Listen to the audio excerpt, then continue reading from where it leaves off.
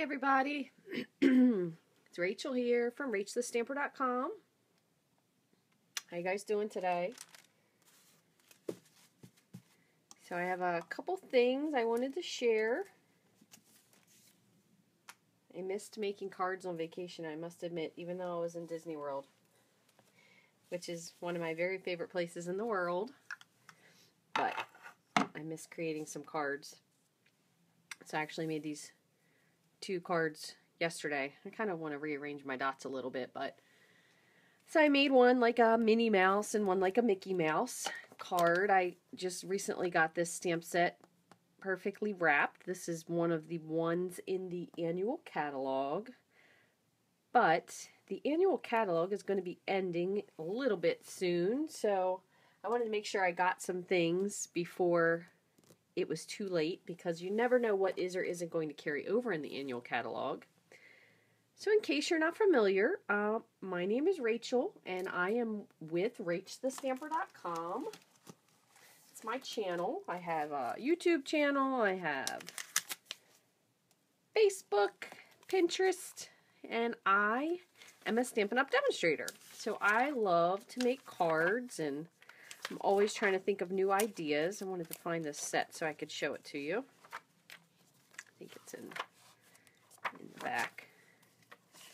But I'm always looking through the catalog because we do get a couple new catalogs. We get a holiday catalog with mostly Christmas stuff in it, and we get a um, spring catalog as well. And sometimes it makes us neglect the trusty catalog that we have can find that set for you. Actually, it was perfectly wrapped. There we go. 159. So sometimes I like to go back. This is the other one I got. But anyway, this is a really cool set. It goes with this project kit. So if you get the project kit, this um, coordinates with it so you can stamp all of your greetings. But this is a really fun set to have. And I actually got it for the um, scalloped tag topper punch because I thought a lot of these sayings would fit really well with any kind of a gift that you're going to give. So for this, I actually have a project that I'm going to do coming up that's going to be great if you need like a last minute Mother's Day or an Easter or uh, maybe a baby shower, a wedding shower, but it'll be a really cool set to use to be able to make this project that I thought of that would be a really fun idea. So I'll share that with you later. But I really like this set. I love the font is really pretty. So I used this for my Mickey and Minnie cards that I made. As I said, so I recently got back from Disney World. So these are two cards that I made with that. And then before I went on vacation, I actually shared with you a really pretty bag that I made and this is using the glassine bags that come in the annual catalog. And this would be great if you wanted to get little gifts you could slip in there. And then this is a really nice way to wrap it. You can add a tag. And this one I actually did the tag in half so you could write on the inside and just attached it to the front. So yesterday I was kind of fooling around with this and I decided to make one. This is a little not really in my color scheme, but using the flower and then I let my son pick out the inks I was going to use. Well, I did notice one difference, and this is why I wanted to do a live video of this. I um, stamped these using the archival black ink, which does stay damp a little bit longer than the StazOn.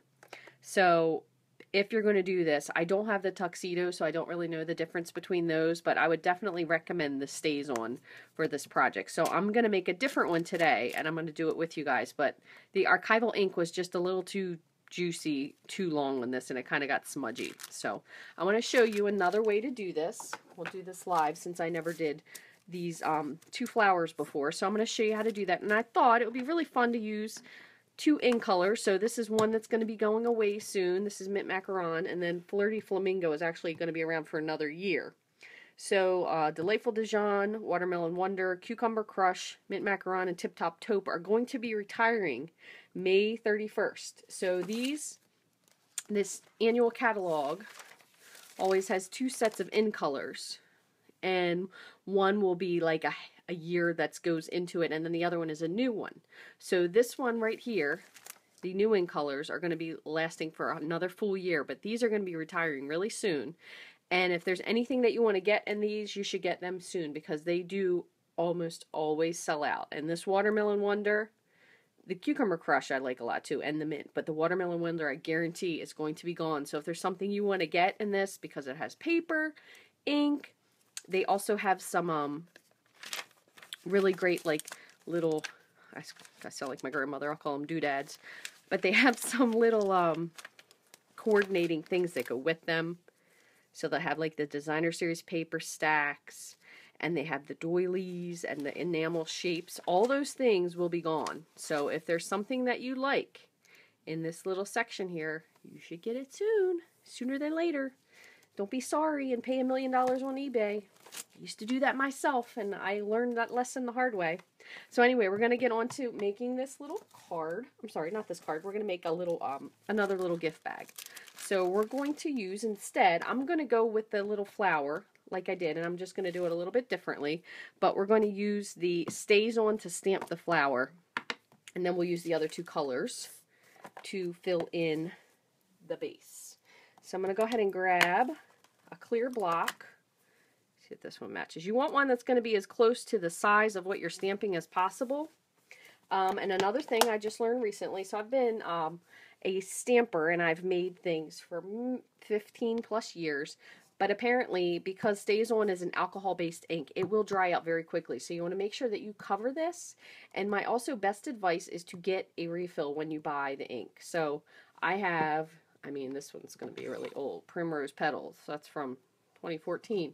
But I always buy the coordinating ink. That way I can refill them and still use them because especially with the in colors, once they're gone, you can't get them again unless again you're going to pay $8 million on eBay. So buy it now while it's there. It's only like $5 and then you could have that ink pad for virtually forever. So we're going to start with um, just inking up our flower.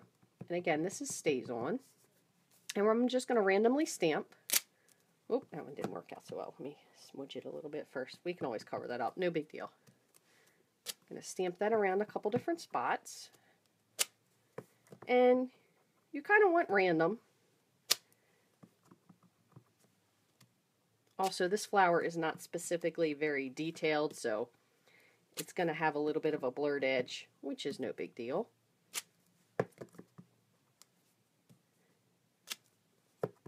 Hoping I'm going to get a lot of stamping in in the next few days. We're apparently in for a very late snowstorm here with the possibility of getting a very significant amount of snow. Clean this off once.